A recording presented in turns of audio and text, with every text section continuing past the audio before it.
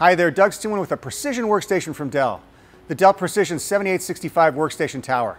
This platform runs a single AMD Ryzen Threadripper Pro 5900WX processor with up to 64 cores.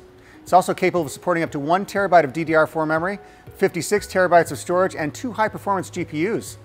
Running a single 64-core CPU, it can easily compete with a dual Intel processor-based system, and I like it.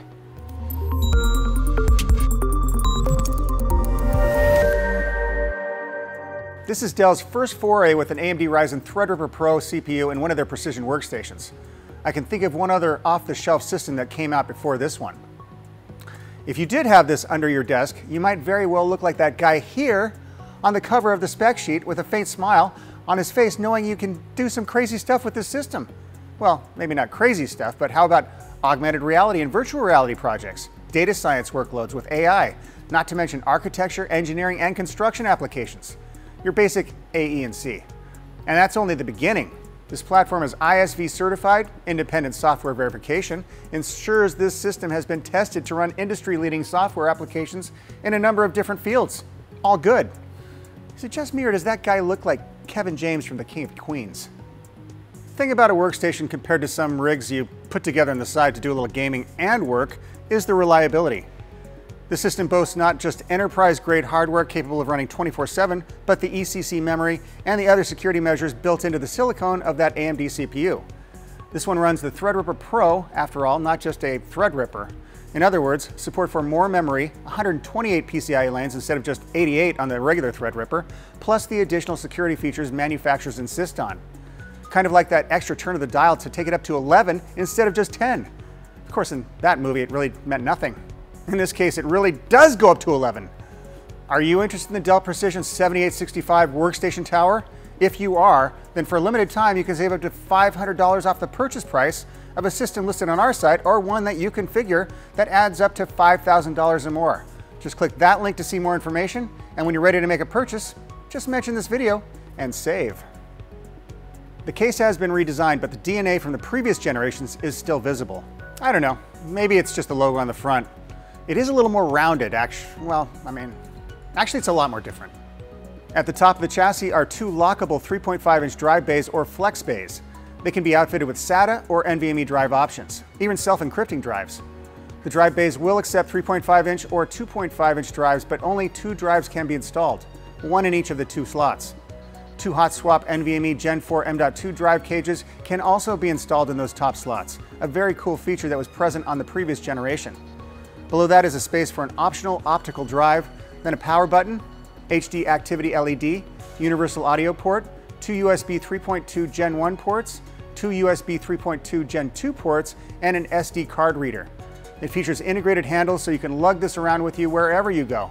I mean, it's only gonna be like 50 pounds fully configured. I'm sure Starbucks won't mind if you set up there.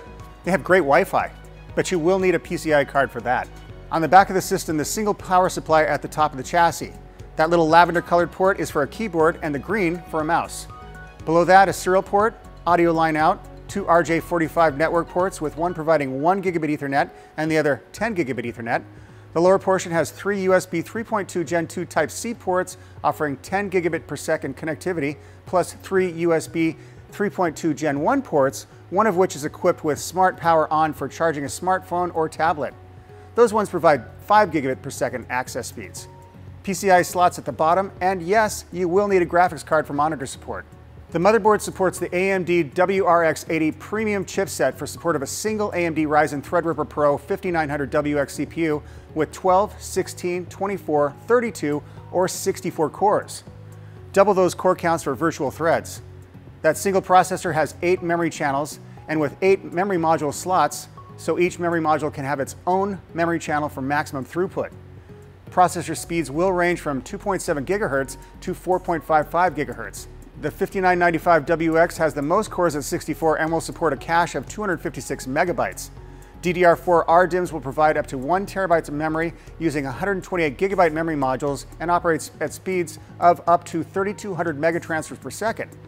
I'm not sure why this system caps out at 1 terabyte of memory, but that is what Dell has listed in their specifications.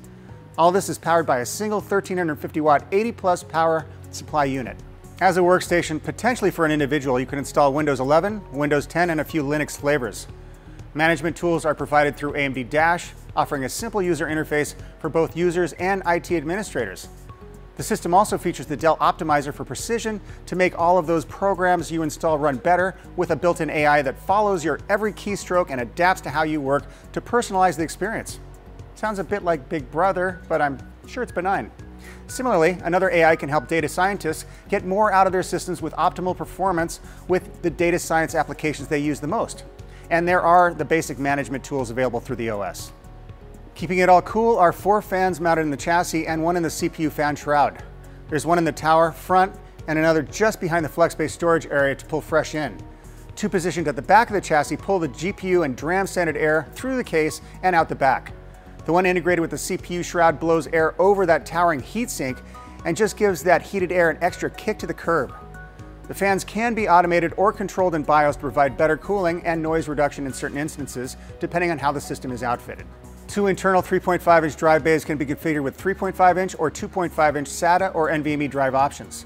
There's also a heatsink on the system board that hides two PCI 4.0 x 4 slots that can be outfitted with NVMe Gen 4 M.2 2230 drives for another super fast storage option.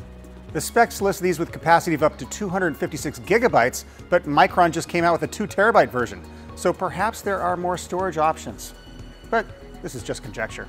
If you're wondering what that other little black anodized heatsink just above the CPUs is, it's not for an M.2 drive. It's actually the voltage regulation heatsink. For even more storage, you can install either an UltraSpeed Duo or Quad card with two or four NVMe M.2 drives respectively. To reach full potential, you will install the Quad card in one of those PCI by 16 slots, as each of the drives will need a by 4 lane for optimal throughput. The dual card will be quite happy with one of the by 8 slots. At maximum capacity, the quad card can supply up to 16 terabytes of NVMe storage. There are five PCIe 4.0 slots for expansion. Two are full height by 16, and the other three are full height by 8.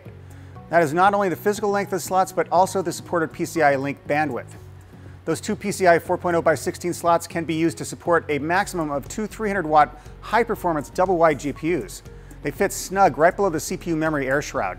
Retainer clips front and back support the GPU if you do decide to cart it off to the coffee shop for a relaxing latte while you're working on that critical simulation of aerosol-based disbursement of airborne diseases in an enclosed area.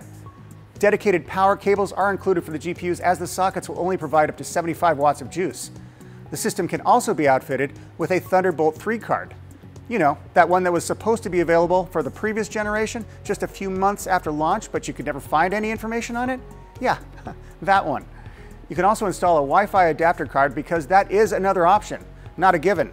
There is, however, a built-in speaker. It may not produce stereo quality sound, but will do the trick at a bare minimum. This platform supports a bunch of AMD Radeon and NVIDIA GPUs, including the top-of-the-line NVIDIA RTX A6000 with 48 gigabytes of GDDR6 memory, and the Radeon RX 6900 XT, but it will also support the NVIDIA GeForce RTX 3090 and 3080 cards with 24 gigabytes and 10 gigabytes respectively. You know, gaming cards. The RTX A6000 is an Ampere-based card with 48 gigabytes of GDDR6 memory and is based on the GeForce RTX 3090, but everything is unlocked on that card. It's a superlative card for graphics simulation, rendering, and immersive entertainment. It is a little thinner than, say, that fat triple-wide 3090 card and has a pleasing aesthetic in addition to blazing performance. But uh, enough of NVIDIA. This is an AMD platform after all. The AMD Radeon RX 6900 XT is no slouch in performance either, offering 16 gigabytes of dedicated GDDR6 memory and superior graphics. This card is good for both content creation and gaming. It's definitely less expensive than NVIDIA's top-of-the-line RTX 3090, like half, and much less than the RTX A6000, but that one is truly a workstation graphics card. That's it for this episode, but I must say that I do like these workstations. They're just interesting. Not to mention, I would like to have one of these AMD Threadripper Dell Precision 7865 workstation towers for myself. Even with that AI tracking my every move. My life is pretty boring, so even that AI would not have much to report on. On another note, if you're interested in this precision workstation, then check out itcreations.com. I placed a few links below, and you can click one of those right there if you want. IT Creations does everything your IT dreams are made of, and maybe we can get rid of those IT-related nightmares at the same time. Subscribe to our channel if you want to see more of the latest IT hardware. Till next time, I'm Doug Stuman with IT Creations, and thanks for watching.